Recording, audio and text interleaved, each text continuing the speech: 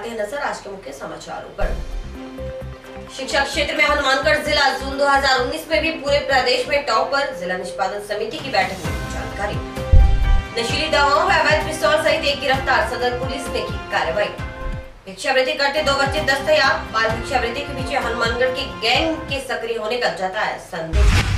Do माध्यमिक की सेवानिवृत्ति पर विदाई समारोह। शिक्षकों ने की कार्यकाल की सराहना। अब खबरें विस्तार से। राजस्थान लोक परिवहन की बसें आज नहीं चली। बस ऑपरेटर नाजायज बढ़ाई गई टैक्स दरों के खिलाफ हड़ताल पर रहे। इस दौरान जिला परिवहन कार्यालय के समक्ष नारेबाजी करते हुए धरना दिया गया। बस ऑपरेटरों ने स्टेज कैरेज व टैक्स दरों को लेकर अपनी मांगों से डीटीओ को अवगत करवाया और ज्ञापन सौंपा। Bus operator union. राजस्थान लोक परिवहन सेवा यूनियन। राजस्थान सरकार मुर्दाबाद। राजस्थान सरकार। राजस्थान सरकार। परिवहन विभाग। परिवहन विभाग। परिवहन मंत्री। हमारी मांगे। हमारी मांगे। हमारी मांगे। बढ़ी हुई टैक्स बढ़ोतरी। बढ़ी हुई टैक्स दरें। राजस्थान लोक परिवहन सेवा यानी लोक परिवहन की बसों के संचालन पर बढ़ाई गई टैक्स दरों के खिलाफ बस ऑपरेटर हड़ताल पर रहे और डीटीओ कार्यालय के समक्ष धरना देकर विरोध जताया। बस ऑपरेटर का कहना था कि वे सरकार की मंशा को नहीं समझ पा रहे।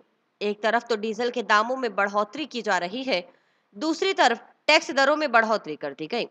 एक तरफ़ सरकार लोक परिवहन सेवा के संचालन पर किसी तरह की टैक्स की बढ़ोतरी नहीं करती, दूसरी ओर ढाई गुना टैक्स बढ़ा दिया गया। उप प्रधान राजीव कुमार का कहना था कि वे बार बार सरकार तक अपनी बात पहुँचाने का प्रयास कर रहे हैं लेकिन कोई सुनवाई नहीं हो रही। बताया गया कि राज्य सरकार की ओर से स्टेज कैरेज बसों का 300 किलोमीटर का स्लैब बनाते हुए प्रतिमाह दस हज़ार की जगह पर उन्नीस हज़ार रुपए टैक्स प्रतिमाह कर दिया गया है। जबकि टैक्स बढ़ोतरी देखते हुए स्टेज कैरेज बसों के ऑपरेटर ने 300 किलोमीटर की जगह 100, 200 व 300 किलोमीटर स्लैब बनाने की मांग की थी। लेकिन कोई सुनवाई नहीं हुई। बस ऑपरेटरों का कहना था कि यदि उनकी सुनवाई नहीं हुई तो वे आंदोलन के लिए तैयार हैं। क्योंकि सरकार की मंशा बस ऑपरेटरों का धंधा चौपट करने की है। हमारी बस ऑपरेटर यूनियन हनुमानगढ़ की तरफ़ से ये धरना प्रदर्शन किया जा रहा है। कल हमने उनतीस सात दो हज़ार उन्नीस को आज के लिए सारी बसें बंद करके, केवल हनुमानगढ़ के नहीं, गंगानगर, बीकानेर, नौर, रावसर, भादरा और रायसी नगर तकात की बसें सभी बंद करके सरकार को संदेश पहुँचाने की एक आग्रह किया था। भी हमारी जो टैक्स बढ़ोतरी है, वो नजायज़ कर दी गई है। एक तरफ़ तो आप विधानसभा में ये बयान देते हो भी हमें किसी प्रकार का कोई टैक्स नहीं लगाया है और हमारे यहाँ टैक्सों के अंदर ढाई गुना वृद्धि करके हमारे को बस ऑपरेटरों को उजाड़ करने का एक प्रोग्राम इन्होंने किया है, जिससे हम हम ये सब बस ऑपरेटर बड़े नाराज़ हैं सरकार से। भी इस तरह से अगर आप टैक्स बढ़ाओगे, आप कुछ तो देखो, डीजल इतना बढ़ा दिया, इंश्योरेंस इतने बढ़ा दिए हैं फिटनेस बढ़ा दी है। फिटनेस पहले एक साल का पैसे लेते थे, अब दो साल की फिटनेस का रेट कर दिया है और पैसे फिटनेस एक साल की दी जा रही है। कुल मिला के बस ऑपरेटर के साथ इतनी मतलब नजायज़ सरकार द्वारा नीतियाँ निर्धारित की जा रही हैं। भी एक तरह से सरकार की मंशा ये लगती है भी सरकार हमारी बसें बंद करवाना चाहती हैं ताकि हम कोई और अपना बिज़नेस देख ले। पता नहीं सरकार के दिमाग में ऐसा आइडिया कहाँ से आता है। और ये आई लोबी जो एसी के अंदर बैठी हुई, ये सोचती है भी ये बस वाले तो जनता को लूट के खा रहे हैं। हम उनको ये पहुँचाना चाहते हैं, संदेश देना चाहते हैं भी हमारी ऐसी कोई मंशा नहीं है भी हम कोई सरकार के या यहाँ के लोगों को लूट के खा रहे हैं। हम अपना भी घर चला रहे हैं और सभी को अपनी परिवहन व्यवस्था भी बहुत सुचारू रूप से जारी रखे हुए हैं। लेकिन किसी प्रकार की कोई सुनवाई नहीं की गई है। कल से हम डी साहब से बात करके आज के धरने के लिए हमने कहा था भी हम धरना देंगे और आप समय पर यहाँ पे आप बिराजो। तो कहा था अभी कल आ जाएँगे, लेकिन अभी तक इतनी धूप के अंदर इतने भाई बैठे हैं, लेकिन डीडीओ साहब अभी तक नहीं पधारे हैं। तो हम इस गेट को ताला लगाएँगे, क्योंकि बस ऑपरेटर है तो जिला परिवहन विभाग है। बस ऑपरेटर नहीं होंगे तो जिला परिवहन विभाग और इतना सरकार का खर्चा करने का फ़ायदा क्या है?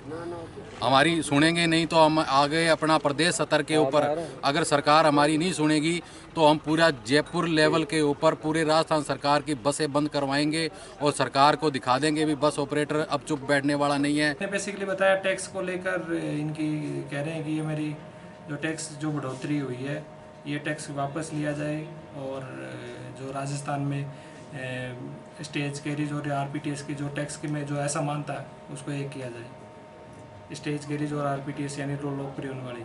पैनिक बटन की बात करें पैनिक बटन में ये कह रहे हैं कि सर जब पैनिक बटन का फिटनेस के समय पर हमारे से पैनिक बटन नहीं लिया जाए। तो मैंने कहा ये स्टेट गवर्नमेंट ऑफ़ इंडिया के नोटिफिकेशन में है और इस तरह से जब तक हमारे पास डॉक्यूमेंट में रिटर्न में रहेगा तब तक हम इसको करेंगे। रिटर्न में अगर हमारे पास नहीं आएगा चाहे वो आर हो चाहे स्टेट गवर्नमेंट से तब तक हम इसको फॉलो करेंगे। मेरे लेवल पे सहमति नहीं है सर ये स्टेट का मामला है, इसमें राज्य सरकार का मामला है। उनकी, इनकी मांगे हैं, उनको ज्ञापन है, मैंने सुन लिया और इनकी बातें समझ ली। ये मैं उनको स्टेट को फॉरवर्ड कर दूँगा। मेरे आला अधिकारी और मेरे जो राज्य सरकार के प्रतिनिधि हैं, उनको मैं अवगत करा दूँगा। समग्र शिक्षा अभियान के अंतर्गत जिला निष्पादन समिति की मासिक बैठक एडीएम अशोक कुमार असीजा की अध्यक्षता में हुई। बैठक में सीडीईओ तेजस सिंह गदराणा ने बताया कि शिक्षा के क्षेत्र में हनुमानगढ़ जिला वर्ष 2018-19 में पूरे राजस्थान में टॉप पर रहा था। अब वर्ष 2019 के अंतर्गत अप्रैल से लेकर जून 2019 तक भी पूरे राजस्थान में जिला टॉप पर चल रहा है। एडीएम और निजी स्कूल प्रतिनिधि तरुण विजय ने शिक्षा विभाग के अधिकारियों को इसके लिए बधाई दी। समग्र शिक्षा अभियान के अंतर्गत जिला निष्पादन समिति की बैठक एडीएम अशोक कुमार असीजा की अध्यक्षता में हुई। बैठक में सीडीईओ तेजस सिंह गदराणा ने बताया कि शिक्षा के क्षेत्र में हनुमानगढ़ जिला वर्ष 2018-19 में पूरे राजस्थान में टॉप पर रहा था। अब वर्ष 2019 के अंतर्गत अप्रैल से लेकर जून 2019 तक भी पूरे राजस्थान में जिला टॉप पर चल रहा है। एडीएम और निजी स्कूल प्रतिनिधि तरुण विजय ने शिक्षा विभाग के अधिकारियों को इसके लिए बधाई दी। बैठक में गदराणा ने बताया कि स्कूल के मैदानों की साफ़ सफ़ाई नहीं हो पाती। इनकी सफ़ाई मनरेगा के ज़रिए करवाने की मांग रखी तो एडीएम ने इसका प्रस्ताव सीओ जिला परिषद को भिजवाने के निर्देश दिए। बयालीस स्कूलों में आईसीटी लैब नहीं होने की जानकारी देने पर एडीएम ने यह लैब जनप्रतिनिधियों के सहयोग से खुलवाने की बात कही। मुख्य ब्लॉक शिक्षा अधिकारी को बीडीओ कार्यालय में पर्याप्त कमरे देने की मांग पर एडीएम ने इस बाबत कलेक्टर को पत्र लिखने के लिए निर्देशित किया। साथ ही सिविल वर्क समय पर पूरे नहीं करने वाले ठेकेदारों से पेनल्टी वसूलने को कहा गया। इसके अलावा बैठक में एडीएम ने सरकारी स्कूलों के ऊपर से गुजर रही हाई वोल्टेज विद्युत लाइन को शिफ्ट करने के लिए बिजली विभाग के अधिकारियों को भी निर्देशित किया। बैठक में टिब्बी के कस्तूरबा गांधी आवासीय विद्यालय में डिस्ट्रिक्ट मिनरल फंड के ज़रिए 9 लाख की लागत से आगंतुक कक्ष 2 लाख की लागत से फर्नीचर और 3 लाख की लागत से दीवार ऊँची करवाने का प्रस्ताव रखा गया। महात्मा गांधी अंग्रेज़ी माध्यम स्कूल के प्रिंसिपल गुरमीत सिंह ने मांग रखी कि स्कूल परिसर में पानी भरने की समस्या है, साथ ही मुख्य द्वार और दीवार का भी काम करवाया जाना है। इसको लेकर एडीएम ने नगर परिषद के अधिकारियों को पानी ठहरने की समस्या का निष्पादन करने और बाकी के कार्यों को डीएमएफटी के ज़रिए करवाने के लिए प्रस्ताव भिजवाने को कहा। बैठक में गदराना ने बताया कि आज भी ज़िले में 40 स्कूल ऐसे हैं जहाँ विद्युत कनेक्शन नहीं है। डिमांड नोटिस भरे हुए हैं, लेकिन कनेक्शन नहीं हो पा रहे। इस अधिकारियों से बात कर विद्युत कनेक्शन जल्द देने और इसका रिव्यू मंगलवार को होने वाली बैठक में करने के लिए निर्देशित किया। बैठक में यह भी बताया गया कि आगामी 30 अगस्त को बाल सभा का फिर से आयोजन किया जाना है। इसमें सभी संबंधित जिला स्तरीय अधिकारी उस बाल सभा में पहुँचे। निजी संस्थान प्रतिनिधि तरुण विजय ने कहा कि जिस तरह से शिक्षा के क्षेत्र में जिला पूरे राजस्थान में पिछले डेढ़ साल से है ये हम सब के लिए गौरव की बात है। बैठक में एडीएम अशोक कुमार असीजा के अलावा CDEO Tej Singh Gadrana PRO Suresh Bishnoi DEO प्रारंभिक प्रवीण भूषण, निजी संस्थान के प्रतिनिधि तरुण विजय एडीपीसी कुलवंत सिंह, सभी ब्लॉक के सीबीईओ एपीसी जितेंद्र बटला समेत अन्य विभागों के प्रतिनिधि भी शामिल हुए। सरकार के नियम कानूनों के बावजूद बाल भिक्षावृत्ति नहीं रुक रही। हनुमानगढ़ की बात करें तो यहाँ बाल भिक्षावृत्ति के खिलाफ लगातार कार्रवाई होने के बावजूद बाल भिक्षावृत्ति पर रोकथाम नहीं लगी है। ताज़ा मामला डीटीओ कार्यालय के बाहर दो बच्चों द्वारा भिक्षावृत्ति करने का है। सूचना पाकर पहुँची बाल कल्याण समिति की टीम ने इन बच्चों को दस्तयाब किया है। हनुमानगढ़ में बाल भिक्षावृत्ति के पीछे एक गैंग काम कर रही है, जो अपने तरीके से कुछ बच्चों को भिक्षावृत्ति से जोड़े हुए हैं। यह संदेह जताया है बाल कल्याण समिति अध्यक्ष जोधा सिंह ने। दरअसल, बाल कल्याण समिति अध्यक्ष जोधा सिंह के नेतृत्व में बाल कल्याण समिति की टीम ने डीटीओ कार्यालय के समक्ष भिक्षावृत्ति करते हुए दो बच्चों को दस्तयाब किया। इस मौके पर जब बच्चों को अलग अलग नाम से दो महिलाओं और एक पुरुष द्वारा आवाज़ देकर बुलाया गया और बच्चों ने भागने का प्रयास किया, इसके बाद उपस्थित जनों ने उन संदिग्धों को पकड़ने की कोशिश की, लेकिन वे पकड़ में नहीं है इसके बाद से समिति अध्यक्ष जोधा सिंह का कहना था कि गैंग के रूप में बच्चों से भिक्षावृत्ति करवाई जा रही है। समिति की ओर से एक बालक और बालिका को दस्तयाब किया गया है।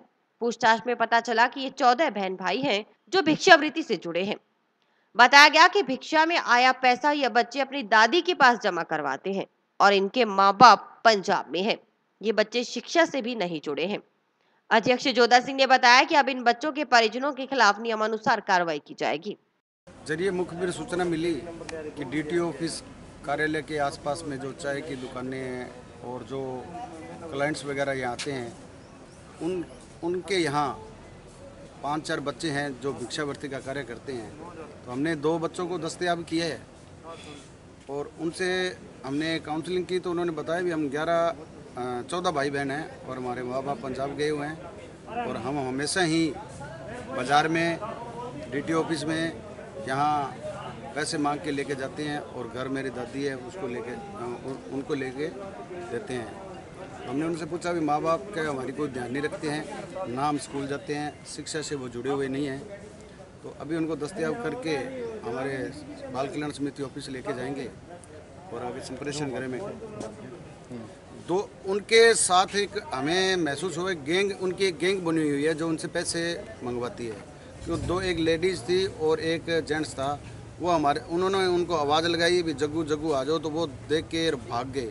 उनके पीछे काफ़ी लोगों ने प्रयास किया उनको पकड़ने के, लेकिन वो पकड़ में नहीं आए। तो एक बहुत बड़ी गैंग है जो हनुमानगढ़ में इन बच्चों को, बच्चों से भिक्षा भर्ती करवा रही है।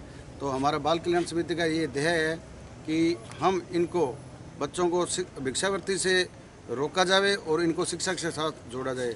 और पत्रकार महोदयों का मैं बहुत बहुत धन्यवाद दूँगा कि मादक पदार्थों की तस्करी में अवैध हथियारों के खिलाफ चलाए जा रहे अभियान के तहत सदर थाना पुलिस ने कार्रवाई करते हुए नशीली टैबलेट, अवैध पिस्तौल, चार ज़िंदा कारतूस के साथ एक युवक को गिरफ़्तार किया है।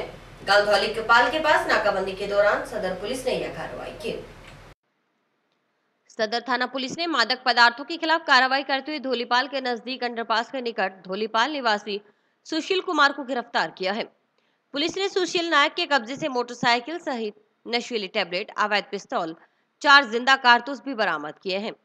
सदर थाना प्रभारी लखवीर सिंह के नेतृत्व में हुई कार्रवाई में आरोपी से पूछताछ की जा रही है। मामले की जाँच टाउन थाना प्रभारी कर रहे हैं। श्रीमान पुलिस उप महानिरीक्षक, पुलिस रेंज बीकानेर व पुलिस श्रीमान पुलिस अधीक्षक महोदय हनुमानगढ़ के निर्देशन में चलाए जा रहे अवैध मादक पदार्थ व अवैध हथियारों के तहत श्रीमान एडिशनल एसपी साहब चंद्रेश जी गुप्ता साहब व डिप्टी साहब अंतर सिंह जी शिवनारायण के सुपरविजन में दिनांक उनतीस सात दो को दौरान गश्त, नाकाबंदी, श्रीमान एसएचओ साहब सदर में स्टाफ के दौड़ीपाड़ मानू का अंडरपास के पास नाकाबंदी की गई। दौरान नाकाबंदी, मुलजिम सुशील कुमार, पुत्र काड़ूराम जाति नायक, निवासी वार्ड नंबर एक धोड़ीपाड़ को मैं नशीली टैबलेट्स व अवैध पिस्तौल व चार ज़िंदा कारतूस मोटरसाइकिल के गिरफ़्तार किया जाकर थाना आजा पर मुकदमा दर्ज किया गया। व अनुसंधान श्रीमान एस एच साहब टाउन को दिया गया है। टाउन स्थित राजकीय विद्यालय फोर्ट में जिला शिक्षा अधिकारी माध्यमिक राजेंद्र सिंह यादव के सेवानिवृत्त होने पर विदाई समारोह का आयोजन किया गया। शिक्षक संघ रैसला की ओर से आयोजित समारोह में डीईओ के कार्यकाल की सराहना करते हुए उनकी कार्यकाल की स्मृतियों को ताज़ा किया गया। बड़ा ही अच्छा लग रहा है कि मैं आप लोगों के साथ खड़ा हूँ। परंतु कुछ समय बाद यानी अगले दिन हम रिटायरमेंट में चले जाएँगे। वो एक अलग चीज़ है। मैं नहीं सोचता कि मेरा रिटायरमेंट होगा। क्योंकि ये एक सामान्य प्रक्रिया है और इसके लिए मैं तो कई लोगों को मैं देखा है, घबराते हुए देखा है, परंतु तो वास्तव में ये सामान्य प्रक्रिया है, मुझे कहीं भी महसूस नहीं हो रहा कि मैं रिटायर हुआ। उल्टा ये जोश आ रहा है कि एक जो दायित्व मुझे सौंप रखा था, जिसके कारण जो है कुछ एक काम हम नहीं कर पा रहे उससे मैं मुक्त होकर के फ्री जीवन में अपना काम कर पाऊँगा। साथियों, ये जो पद है लेक्चरशिप का, बहुत ही शानदार। यानी हमारी लाइफ का, यानी मेरी लाइफ का सबसे बढ़िया समय जो था, वो व्याख्याता पद का था। मेरे साथ, मेरे यहाँ साथी रहे हुए हैं, सभी यहाँ उपस्थित हैं। इनके साथ जो समय बीता बहुत ही अच्छा। और यूँ कहें कि उस समय की यादें आज भी इस विद्यालय के अंदर वैसी की वैसी ताज़ा है। साथियों, उम्र के साथ साथ पद के लिए हमने काफ़ी लड़ाई की। संघ के साथ हम शुरू से जुड़े रहे और संघ के द्वारा ही हमने सबसे पहले जो है, ये गेस्टेड पोस्ट हासिल की। पहले मैं कहता पद गेस्टेड नहीं था। तो काफ़ी लड़ाई के बाद, संघर्ष के बाद हमें गेस्टेड पद जिला शिक्षा अधिकारी माध्यमिक राजेंद्र सिंह यादव 31 जुलाई, यानी बुधवार को सेवानिवृत्त होने जा रहे हैं। हनुमानगढ़ में उनके 30 वर्षों के कार्यकाल की सराहना करते हुए शिक्षा जगत में उनके सहयोग की यादों को ताज़ा करते हुए रैसला की ओर से विदाई समारोह का आयोजन फोर्ट स्कूल में हुआ, जहाँ डीईओ को साफा पहनाकर उनका सम्मान किया गया। बताया गया कि डीईओ शुरू से रेसला से जुड़े रहे हैं। ऐसे में रेसला संघ उनका आभारी होने के साथ साथ सम्मान करता है। इस मौके पर डीईओ यादव ने अपने कार्यकाल से जुड़े रोचक पलों को शिक्षकों के साथ साझा किया। श्रीमान राजेंद्र सिंह जी यादव, जिला शिक्षा अधिकारी, माध्यमिक मुख्यालय हनुमानगढ़, जिन्होंने इस ज़िले में लगभग 36 वर्ष की सेवाएँ करने के बाद कल 31 जुलाई को वो सेवानिवृत्त हो रहे हैं। इस सेवानिवृत्ति के अवसर को चिर स्मृति यादाश्त बनाए रखने के लिए आज का ये कार्यक्रम विदाई समारोह किया गया, जिसमें श्रीमान जिला शिक्षा अधिकारी, माध्यमिक मुख्यालय राजेंद्र सिंह जी यादव को सम्मानित किया गया। इस अवसर पर हमारे रेसला के समस्त ब्लॉकों से पधारे हुए पदाधिकारीगण उपस्थित थे और विशेष रूप से यादव जी रेसला के कार्यकर्ता रहे हैं। ये पहले व्यक्ति हैं जो रेसला से, व्याख्याता से आज इस पद पर डीओ पद पर पहुँचे हैं और यहाँ से हनुमानगढ़ से सेवानिवृत्त हो रहे हैं। रेसला को इन्होंने बहुत अच्छा योगदान दिया है। संगठन को मज़बूत करने में इन्होंने बहुत अपना समय व्यतीत किया है। इसलिए रेसला परिवार इनका हार्दिक अभिनंदन करता है, आभार व्यक्त करता है और ये उम्मीद करता है कि सेवानिवृत्ति के बाद भी वो रेसला संगठन को ऊंचाइयाँ प्रदान करने में अपना सहयोग देते रहेंगे। भारतीय किसान संघ का प्रतिनिधिमंडल कलेक्टर से मिला और फ़सल बीमा अनिवार्य किए जाने का विरोध किया। किसान संघ के अध्यक्ष का कहना था कि सहकारी बैंकों के ऋण के साथ फ़सल बीमा अनिवार्य कर दिया गया है।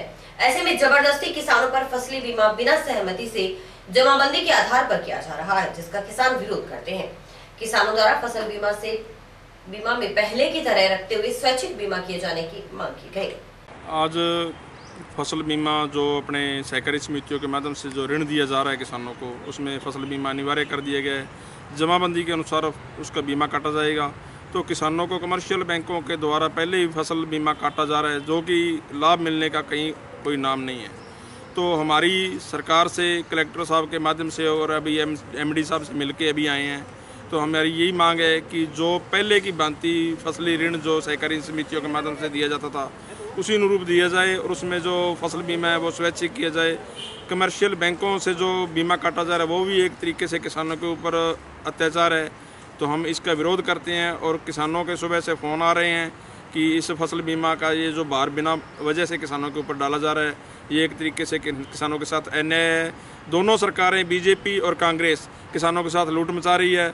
और इस लूट में किसान दिन ब दिन पिस रहा है और हमारी सरकार से और एमडी महोदय और कलेक्टर साहब से यही मांग है किसानों के गुस्से को देखते हुए, यदि आगामी ये इसका समाधान नहीं हुआ तो किसान सड़कों पर उतरेंगे, जिसकी जिम्मेवारी प्रशासन और सरकार की होगी।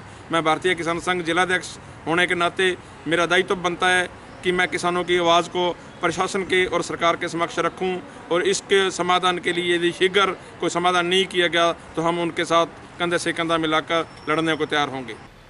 समाचार अभी और भी देखते रहिए दिन भर की खबरें।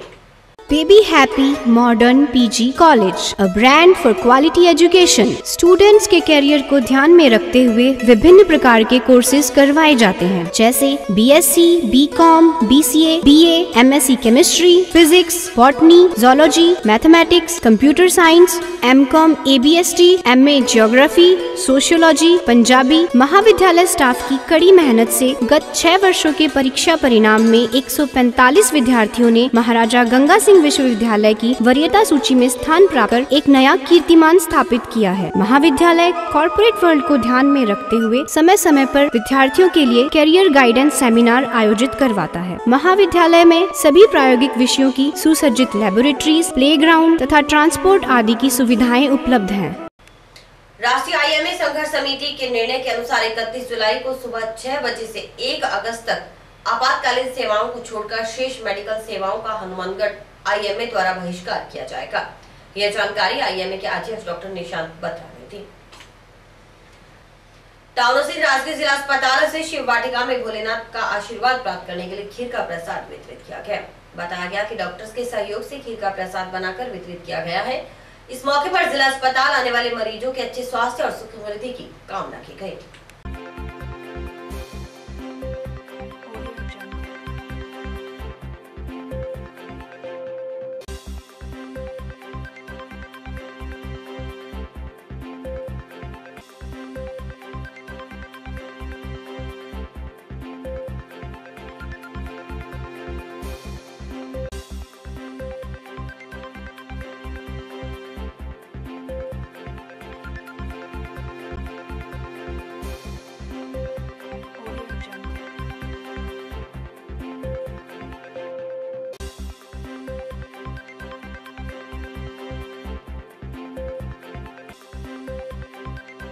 चार अगस्त को बीकानेर में आयोजित प्रोफेसर ललित किशोर चतुर्वेदी स्मृति में राजस्थान गौरव सेवर सम्मान समारोह का आयोजन किया जाएगा। समारोह में खेल जगत की संभाग के प्रतिभा द्रोणाचार्य अवार्डी आर सिंह को इस सम्मान के लिए आमंत्रित किया गया है। समारोह में उन्हें खेल प्रतिभा के रूप में सम्मानित किया जाएगा। कार्यक्रम में नेता प्रतिपक्ष गुलाब चंद कटारिया राज्य मंत्री अर्जुन राम मेघवाल सहित कई दिग्गज नेता शामिल होंगे।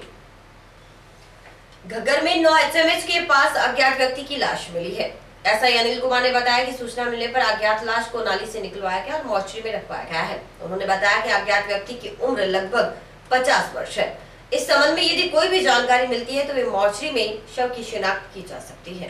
थाना पर ज़रिए टेलीफोन सूचना मिली कि नाली बैंड में नो एच एम एच की रोही में एक अज्ञात व्यक्ति की लाश आई हुई है, जिस पर हम मौके पर पहुँचे तो डेड बॉडी को नाली से बाहर निकाला तो एक मेल अज्ञात व्यक्ति की लाश मिली। जिसके दाढ़ी बढ़ी हुई है और बाल लंबे हैं और अननोन है। और इस अज्ञात व्यक्ति की लाश को हमने राजकीय चिकित्सालय के मोर्चरी रूम में रखवाया गया है और जिस पर हमने एक मरक दर्ज की गई है, जिसकी जाँच जारी है। और यदि किसी की कोई गुम हुआ है इस हुलिये का व्यक्ति तो वो मोर्चरी रूम में जाकर, राजकीय चिकित्सालय में जाकर देख सकता है। इसकी उम्र करीब 50 इयर्स 50 के करीब है। नहीं नहीं, कोई ऐसा है, लगता है कि ये पीछे से ही कहीं गिरा है या तो कोई चोट के निशान नहीं है बॉडी पर। और इसी के साथ समाचार समाप्त हुए, रोज़ाना देखते रहिए समाचार। नमस्कार।